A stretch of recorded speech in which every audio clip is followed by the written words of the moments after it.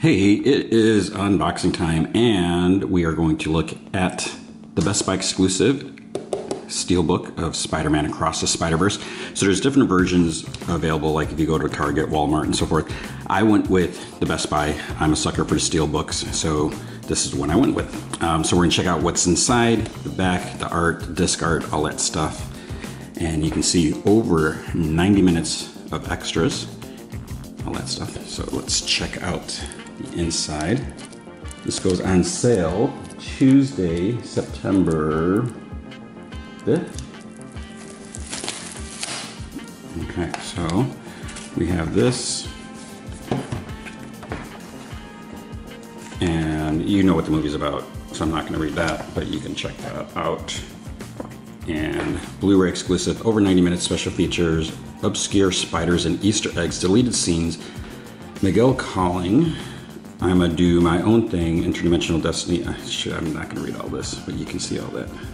Across the comics verse, lyrics video, filmmaker commentary. Okay.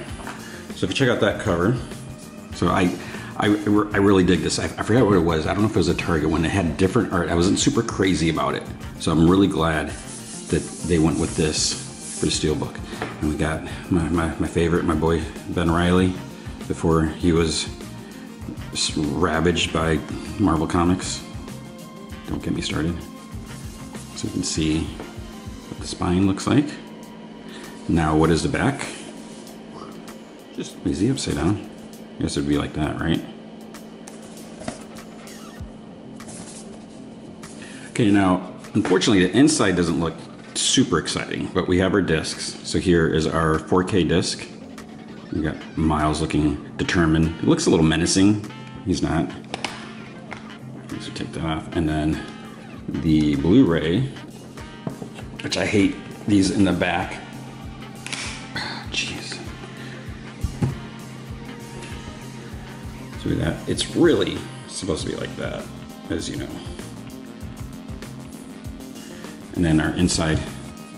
I mean, I guess that's fine. It's if you want to say minimalistic but we have all this nothing going on here. It's like, dude, you could have put the other disc here instead of hiding it back there and making me think I'm gonna break it. But I'm not complaining because I love this movie so much. So that is it. Um, that's what, what you get here. So I think that's that's really slick. And I, I like, I don't even know how to describe this because it's, it's a little muted. It's not like doesn't like pop out as much as it does in the movie. So it's a little toned down. So I think it kind of makes it a little more subtle.